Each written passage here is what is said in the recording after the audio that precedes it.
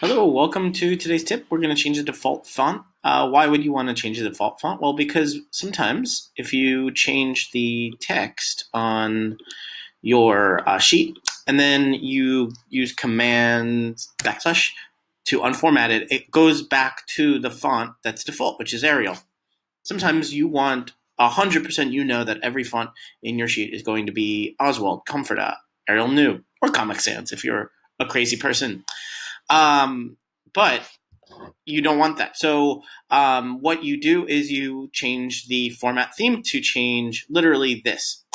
Uh, what challenges await? Well, this is not transferable to other sheets. So once we do it to this sheet, we have to do it to every sheet we ever want to use, which is not a terrible problem to have. Um, it doesn't change the color background. We can change a lot of the colors we use in uh, charts, um, sort of some basic features. And uh, the changes we make are only on the custom theme, which I'll show you in a second. Uh, I talk a lot about my favorite fonts because uh, Arial is a terrible font to have to look at all day, every day. If you're using Sheets 10 hours a day, then check out bettersheets.co. I'm giving lifetime access to all of my tutorials. We go deep into what are uh, the, my favorite fonts and why they are, and you'll be able to even add more fonts. I tell you about this cool thing where you can actually go to and add more fonts than you ever imagined.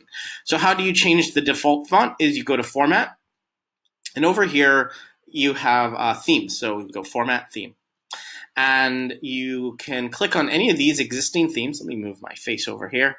And there's some like really nice themes here to choose from.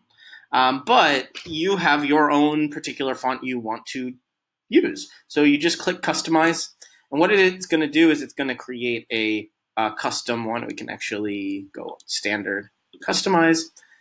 And now we can change the font here. Arial, we want to change it to Courier New. And we could change all these colors. These colors are for like charts, chart background. You just can't uh, change your background color. But it also does mention that edits to this will be saved over the existing custom. So you don't have multiple custom themes. You only have one theme. You just want to change this. Click done. And now if I go here and I command uh, slash to unformat it, it unformats to the Courier New, which is my default font now. So now I don't ever have to change this uh, font. It's actually the default.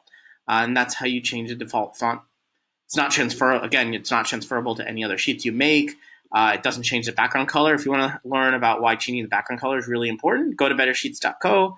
Uh, I talk a lot about just making Sheets experience better uh, because we spend time in Google Sheets.